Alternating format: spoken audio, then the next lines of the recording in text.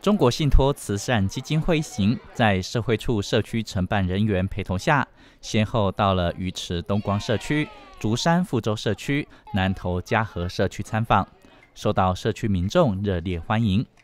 来到嘉禾社区，社区中的一群老小学生穿着制服跳舞，让大家体验社区营造的成果与活力。社会处处长林俊吾非常感谢中国信托慈善基金会的莅临。政府资源有限，希望在基金会的人力与物力的支持下，让社区产业发展能够更加顺利。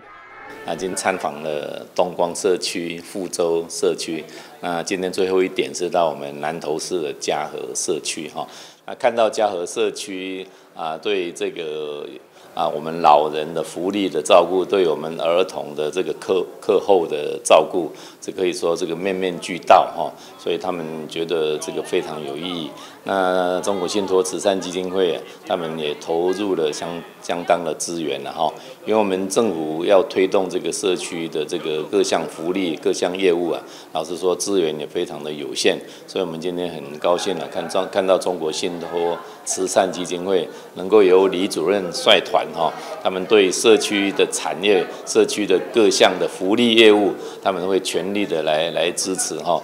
南投社区营造一直以来以人为中心，以人的相处与互动为首要。中国信托慈善基金会看的是非常感动。林处长也指出，如果企业有能力挹注资源，相信南投社区的发展将是无可限量。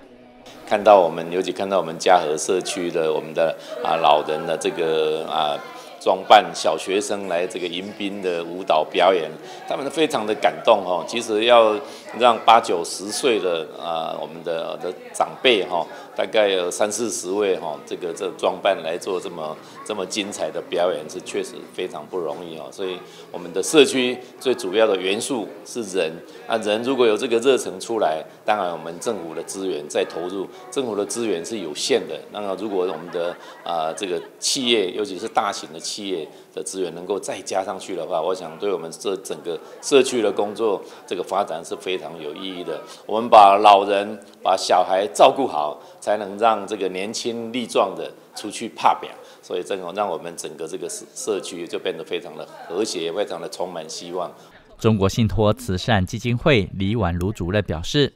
中国信托长期致力辅助产业发展以及资源盘点再利用。这一次来到南投，选择三个社照点参访，了解社区运作模式，希望下次有机会能够帮助社区进行产业规划，协助行销。更希望在地学校能与社区结合，一同为社区未来打拼，协助产业发展，促进青年回流，活络在地经济发展。